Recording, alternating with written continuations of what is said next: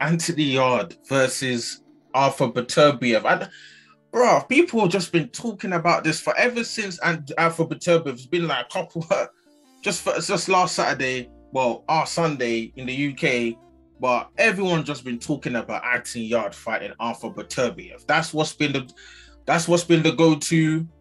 Arthur Beterbiev, he did what he normally does, knocked out Joe Smith like he was a nobody. Joe Smith never been knocked, not never been beaten up like that. First of all, I never been knocked out like that either. You know, and Beterbiev just knocked him out. Everyone's talking about that's the guy we want Anthony Yarde to go in and fight.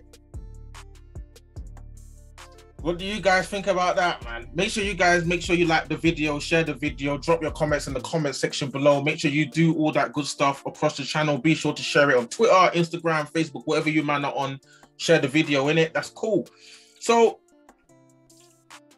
Anthony Yarde, you know, Anthony Yarde, you know, the you know Frank Warren's been trying to position him for that mandatory shot against Arthur Beterbiev, trying to pick up those belts, and then obviously they want to try and set up probably after that gonna set up a fight with Bivol, trying to root him to undisputed. That's pretty much what I can gauge of what they're trying to do. Is it too early? That's the question. This is the question. This is the crux of the matter. Is it too early for Anthony Yarde to be taking on Arthur Beterbiev? Is it too soon? Are they setting him up for a highlight reel loss to Arthur Beterbiev? Is he gonna become the the 19th, the 19 and 0 on Arthur Beterbiev's rec- record. Easy is is Anthony Yarde getting knocked out? That's the question, isn't it? Can Anthony Yarde get to Arthur Beterbiev? Is it going to be an affair where he feels the power, he doesn't want to let the hands go? What is going to happen? What is happening next? Is that fight even going to happen anyway? Because I've been seeing Arthur Beterbiev's more into going for undisputed against Dimitri Bivol. Bivol's on the zone, so you know there's gonna be have to be stuff worked out there. But that's a topic for another video. But can Yarde beat Arthur Beterbiev? It is boxing. Anything can happen. We've seen stranger things happen in boxing, but when you've got a guy who just walks through people, Arthur Beterbiev, yeah, looks like someone that they brought out of, you know, the it's like it looks like someone from some someone from like the 1500s or something like that. Some guy, strong guy from you know the Germanic or you know Russo forests. They brought him out and you know been training in the bushes. Came out there rugged, and it's like you can hit this guy's chin with a sledgehammer, and it's like nothing's even going to happen. That's the vibes I get from just from from Arthur Beterbiev, just based on how he looks. The guy is a beast. He looks like a beast. He fights like a beast. He knocks people out like a beast. That's what he is. Question is, is Anthony Yarde ready for that kind of energy? Is he ready to get caught with those kind of shocks? Can he go? Can he go deep waters with Arthur Beterbiev? We've seen Arthur Beterbiev. He's beat. Did you? Have you guys seen the Luke? The the the, the what do you call it? That Marcus Browne fight?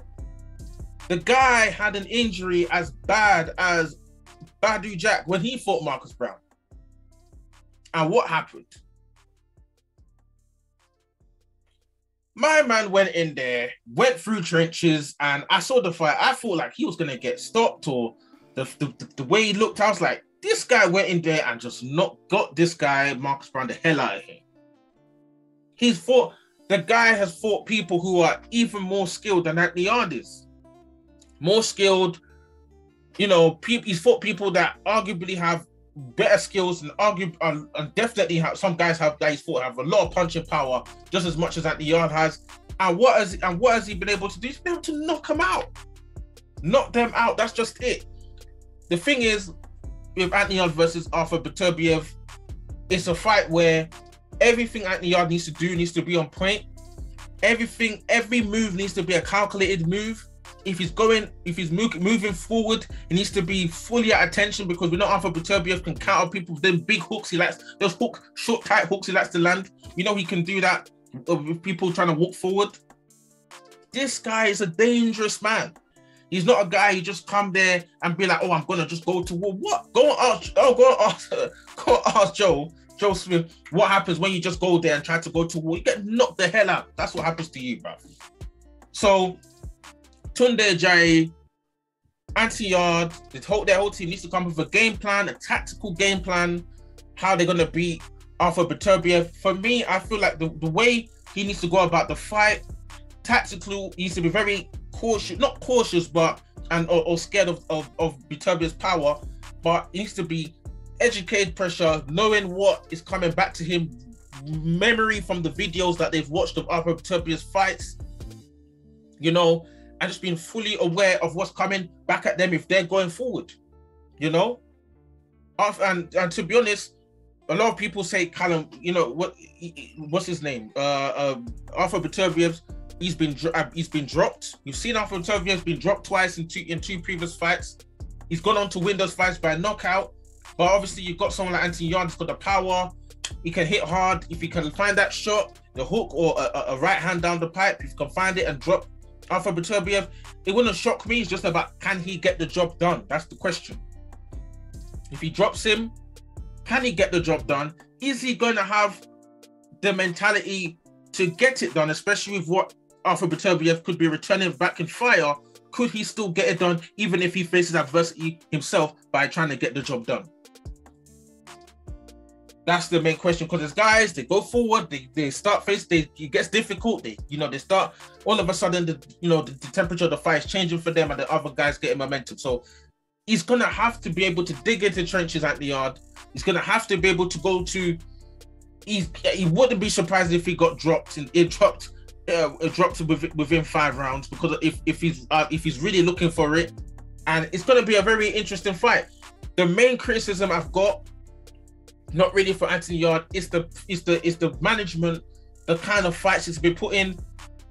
Like honestly, look at he fought Lyndon Arthur for the Commonwealth title how do you go from fighting road sweepers, cream puffs, puddings, journeymans, and all manners of people who classifications of journeyman? You fight Lyndon Arthur, which is the only, you know, half pretty.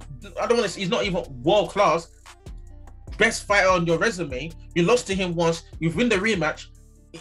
You're then you're inactive. You're not finding anybody of real quality that you can even find in the middle, even if you fought a Jean Pascal, Jean Pascal, if you pay Jean Pascal, if you're offering, you know, there's money there, people are gonna if you if even if you offer Jean Pascal uh, an offer to fight Anthony Yarde, he's an older guy, he's still got experience, he's a good guy to have on your resume. You beat John Pascal, you've got, you know, a good fight.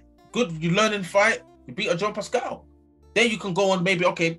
I think for me, I would say maybe you have one or two more fights before Beterbiev, but even if you go fight Beterbiev after fight John Pascal, that's more acceptable to me. But with Lyndon Arthur to, to Arthur Beterbiev, like the kind of sparring you must be doing, this must be the most le- le- knowledgeable sparring you must be doing to give you the kind of intuition in the ring to deal with a people like a fighter like Beterbiev. Because when you go in there, it's easy to spar and, and you know you find all these journeymans, but when you got it's different levels, man. So I need to see how that was because if he goes in there and he gets sparked out within five rounds, like a lot some other fighters have been, people are going to be blaming and saying, "Oh, why didn't he fight some other people to get used to the this level of boxing?" And then people's going to be looking at people like Tunde Ajayi and looking at his management. You know, look at Eddie Hearn, the way he's dealing with Joshua Buatsi. You know, Virgil, Virgil, Virgil Hunter's already talking about Buatsi needs another interim fight before fighting potentially Dimitri Bivol. You would think that's the kind of route that you they would want to follow for Anthony Yarde. But you know, sometimes if you gamble and he gets it done against Beterbiev, against the all odds, people would say that was the right decision. If it doesn't work, people are gonna be like, it was the wrong decision. You should have gave him more learning fights, and it would have been a better route to do so. It's pretty much have to see how the gamble pays off. If it pays off, bruh, Tunde Frank Warren, they're gonna look like geniuses getting this guy the payday and getting this guy the belts. But if it doesn't work, it's gonna look a bit mad still. Drop your comments in the comment section below. Let me see what you guys think about Anthony Yarde versus Arthur Beterbiev. Can Anthony Yarde beat Anthony? But can Anthony Yarde beat Anthony? Can Anthony Yarde beat Arthur Beterbiev and get it done and bring the belts back to the UK, bring it back to East London for himself, or is is, is Arthur Beterbiev going to do what he normally does that the Russian warrior. The guy looks like they brought him straight out of the the back from the gladiators back in the Colosseum. Is he just gonna go in there, lights out, and end the fight? Drop your comments in the comment section below. Let me see what you guys are saying about this fight.